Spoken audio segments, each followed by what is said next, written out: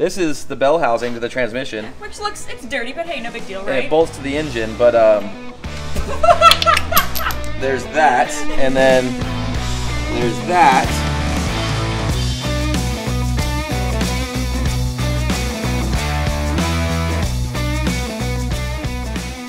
What's up, Lite Brite Nation? Hey, what's up, Lite Brite Nation? So we are here at our favorite shop in Los Angeles, DCD Custom. DCD Customs. They're the same exact shop that did the Hemi swap and the one tons on the JL. But this time, we're not here for the Jeep. We're here for the Ultra 4 car, which, as most of you know, or maybe you don't know, because I don't know if we've ever really talked about it, our bomber chassis has essentially been through two full Ultra 4 racing seasons without ever getting a full teardown and refresh. That means the engine, the transmission, the transfer case, the axles, everything has gone through two full years of beatings, two King of the Hammers with a bunch of other Ultra 4 races without ever really just having a little bit of TLC. So that's what essentially Kevin and I are dedicating our entire Christmas month of December and probably most of January into doing. We are going to have this entire thing torn apart, get the engine looked at, the transmission, the transfer case, make sure that everything is as tip top shape as we can make it, or more accurately, as we can afford to make it before King of the Hammers, because again, we want to cross that finish line and we would hate to get stuck out in the middle of the desert, unable to cross the line because of something dumb that would have been really easy to just take care of with the thing torn apart. So that's what we're doing. And for now, this is Chris, and Chris is unfortunately the poor sap who has been put in charge of getting everything torn apart. The bomber chassis, if you can't tell, is very tight fitting. Everything is squeezed in there, barely. Uh, and I imagine that getting it all out is not necessarily the easiest thing to do. Now, if you're wondering where one of our favorite mechanics, Danny, is, don't worry, he's here too. With the. Jelly's taking the cruise. She's riding with the homies. Oh, see. So Chris here uh, is actually a really good friend of Danny's, and he he knows what the hell he's doing. I think, for the most part, we're trusting him. So he actually did the teardown and the rebuild on David, the owner of DCD Customs Ultra 4 car, and he's worked on a ton of short course cars, right? Yes. And I imagine the tearing everything out is probably the easy part. Yeah, remembering where it goes is the hard part.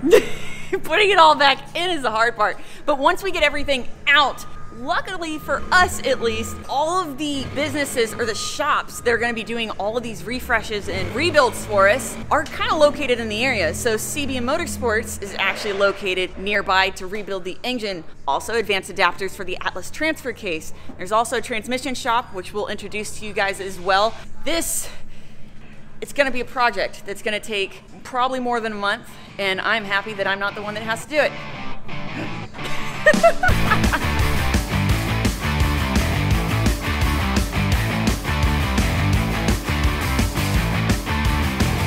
Everybody out in the world, stop messing around.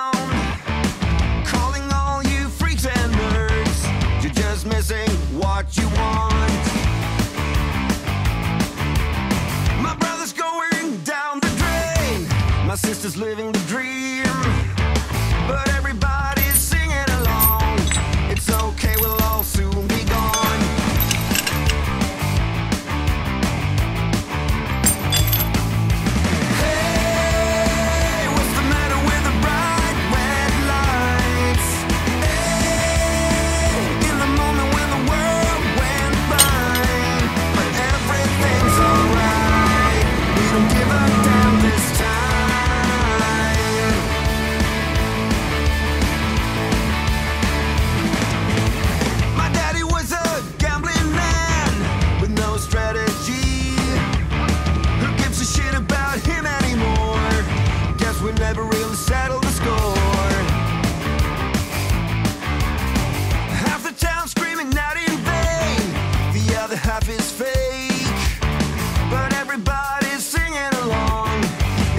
Okay, we'll all soon be gone.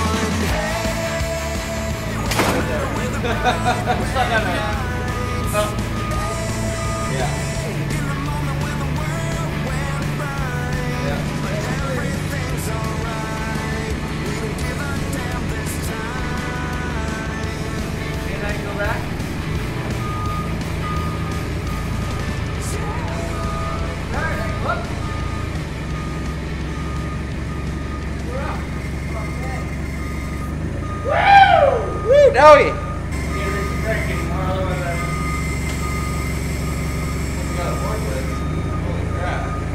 Yeah, that's why we don't use the engine light. Holy crap. She's on. Yeah, stay right there, stay right there. Alright. I'm surprised there's not a bell housing cover underneath there. Yeah, I, oh, there's so much going on in there. Alright. And ta-da! So I get back here and I'm like, oh look, let me just go ahead and pull that engine out real quick. Anyways, that's not Chris, what happened. Chris did a great job getting it out quick. Believe it or not, though, this is the easiest part of the entire job because Yeah, now we're gonna take the engine over to CBM. What are you doing, little doggy? So we're gonna take the engine down to CBM. They're gonna tear it apart. We're gonna cover all that. We're gonna take the transmission over to maximum transmission. We're gonna tear that down and show you about rebuilding the entire transmission. And then the transfer case we'll go over to advanced adapters, tear that down, and we're gonna show you how bad everything looks, and then how good and clean it all looks when, when And it's then, of course, from there, the worst part is figuring out how it all goes back together. But honestly, I'm impressed in general that this even came out in one solid piece because you show 'em in there? there is no room in that chassis. Like, look at this. Like, it just. the clearances are so, so tiny, but somehow ta-da! So now we've got to load this up on a trailer and uh, yeah, take each component to where it belongs. So along with our engine, transmission, transfer case, entire drivetrain, we are also getting the honor of taking this super rad, fully custom DCD Customs built LJ over to CBM Motors as well. Yeah, this thing's got freaking portals on it. Look at the clearance under that diff right there.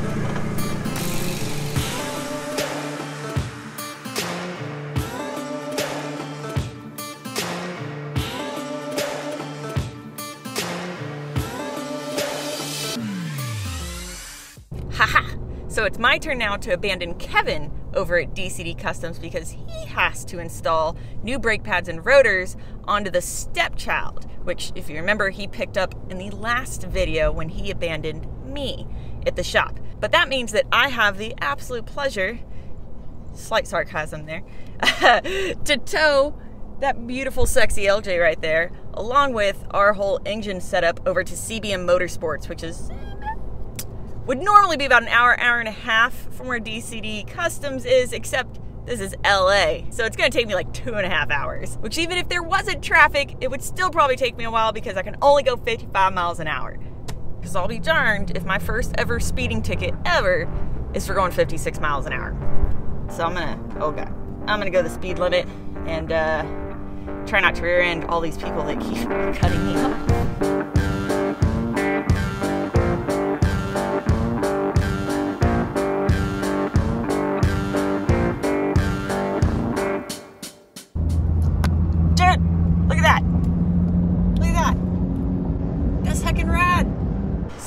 Just like to point out that normally I do not drive the truck, especially when we're hauling a trailer, not because I can't, but because Kevin does not let me because he gets super anxious when he's in the passenger seat of any vehicle for any reason. Plus he says I drive like a daredevil. What does he know? Because obviously, backed the trailer in a parking spot by myself, unhooked it, never worked with that trailer before, so figured it out by myself. We got the LJ unloaded and we've got the engine in the other side of CBM Motorsports where we will start the teardown tomorrow because it is kind of late in the day. But anyways, this is just me patting myself on the back because I'm actually kind of proud of myself right now. All but my lonesome. No Kevin to help me. Except I did have Jelly Belly. She is my cheerleader in the passenger seat. Good girl. You're a good girl. Thank you for the kisses. For real, look at that parking job. I just parked this trailer better than Kevin can park a vehicle backing into a space. Don't tell him I said that though. So, anyways, he hasn't seen the video or what I said, but he will, and he'll get mad at me later. He just knows I said something. Anyways, we have zero time to waste. So what we're gonna do is we're actually gonna go over CBM Motorsports, how rad they are, and what all they do in more detail in the next video because we need to get this thing torn down because we need to get everything measured up and we need to see what type of shape it's in. So Well, I just know that it leaks from every orifice, like front seal, rear seal. There's bolts with just oil coming out of the bolt. the very first time we ever like wide open, full throttle out in Johnson Valley, oil went everywhere. So we know it needs some love. And to help us figure out what it needs, we got to tear it down. And that's where this gentleman right here comes from. So this is Timbo. He is the teardown master. Think like Bob the Builder, but in reverse. and he's missing the tool belt, but it'll be fine. So he's gonna actually help us get this thing torn down so we can figure out what it needs and uh, how much it's gonna cost.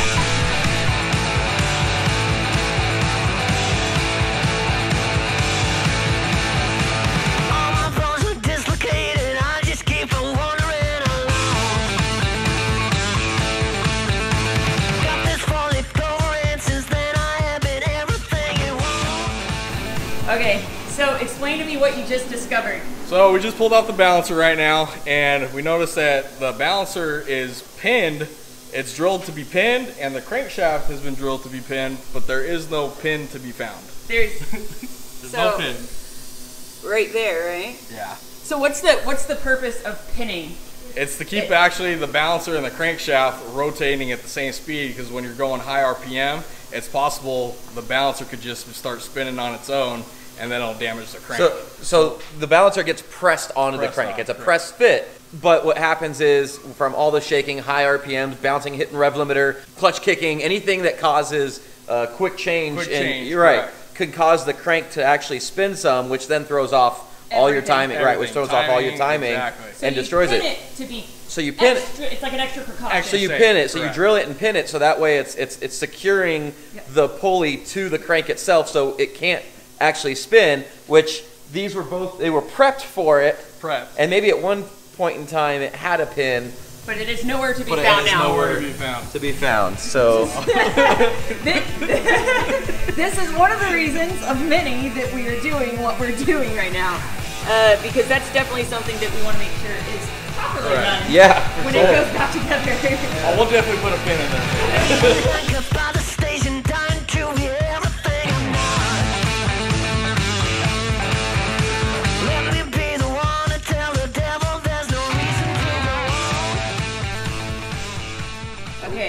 So So we just found another issue. We just pulled off the windage tray right now, and it looks like they didn't clearance it enough. So the rod bolt was actually scraping on the windage tray.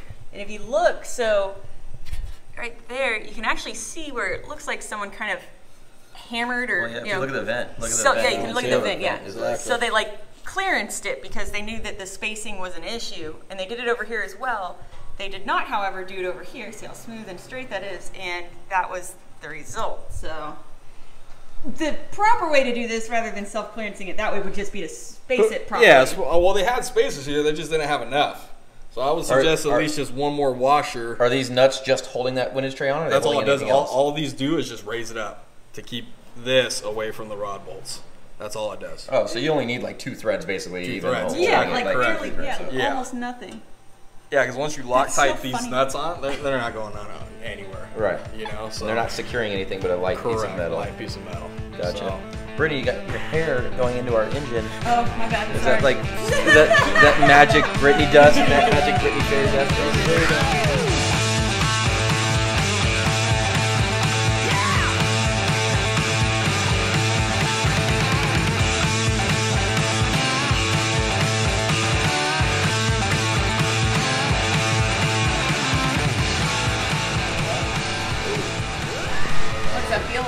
goes all the way down. Yeah, that goes all the way down. Why? It's almost on that piston. Just drag Yeah. it. Check it out. Yeah, I'm. Oh, wow. Yeah, that's pretty. So So something you got can stuck and was dragging for a little bit. You can see the lines, so those are very. It's just the one Yeah. that's really bad. Is it? Was it just that one? Yeah, that one doesn't feel too bad. Well, I mean, the other pistons look pretty good, but those ones I showed you, that was one of them. There's one or two. Yeah, So, one or two of them. So you think it was just like it possibly just dirty, dirty Debris or something. Debris, dirty oil, sand gets up in it. Just Yeah, the first the first oil change. It was pretty pretty dark. It was pretty. Yeah, I mean, for an engine that just kind of gets race, like when you don't da- when you daily drive it, I kind of see it turning dark. But for something that you race, you should change the oil often. and It should always kind of come out pretty pretty nice looking. It, the first oil change we ever did on it was not very Is that nice too looking. deep to? Oh no, you'll just go next size. That's why you're going new pistons anyways. Yeah. So Oh, we're gonna go not even bigger now. yeah, yeah. Oh, We're gonna- we're gonna go even. So Well, with your already CNC heads, we, we will. That'll Oh, okay. Take even more advantage of that. So Yeah, I just didn't know how big you can go. So you just whatever it is, like another ten over or whatever. this it is fairly common, especially you know with the sandy as this was. It doesn't take long for much sand. It, does, it shouldn't take much sand, I should say, Right. a long time to start doing these things. Once it gets to the top of the piston like that, so please always make sure your air filters are tight. Yeah, we were just talking about that. Yeah, make sure the air filter's where it should be. I need to find Triple clam. Yeah, triple clip Triple clam. air filters. That's awesome. Oh, that I assume super frequent oil changes. like, Oh, yeah. After every Every single race. Oh yeah.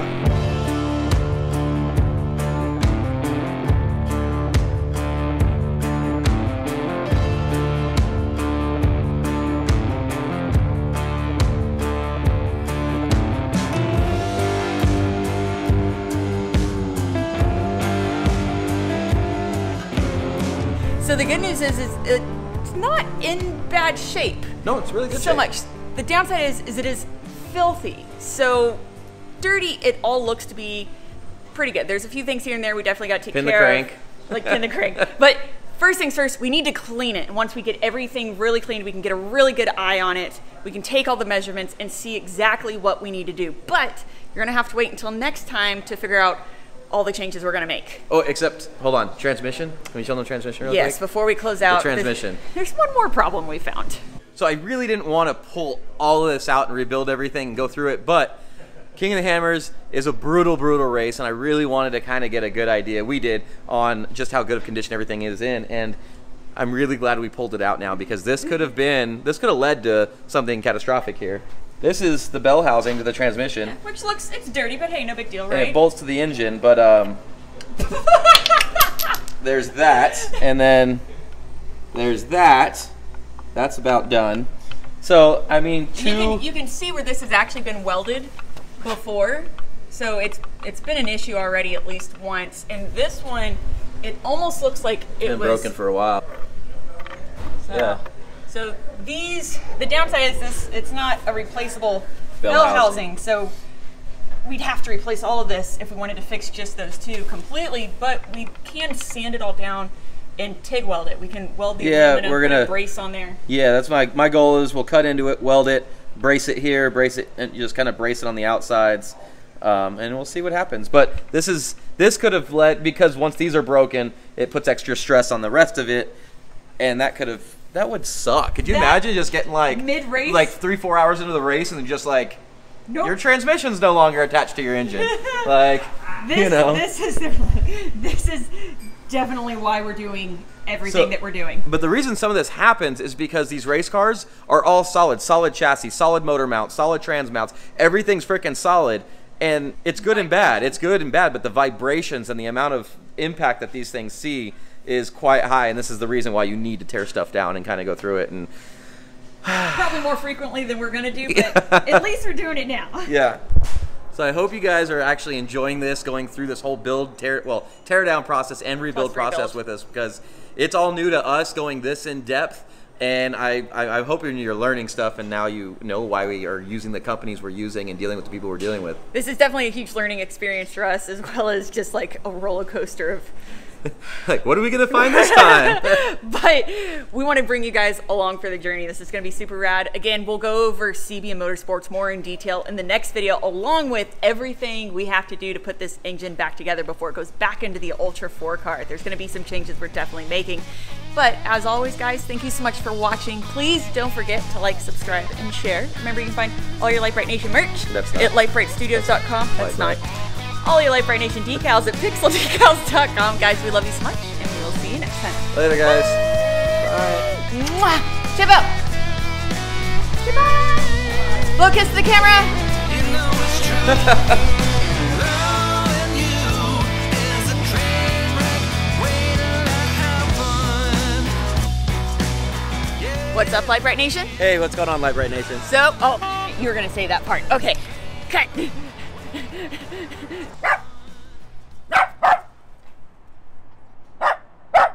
she got hesitant for a second there.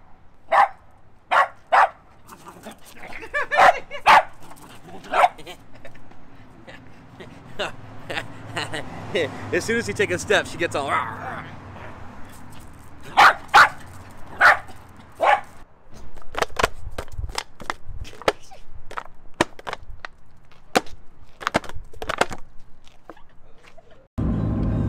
Probably the greatest S2000 and 240 meet I've seen in a while. It's pretty impressive.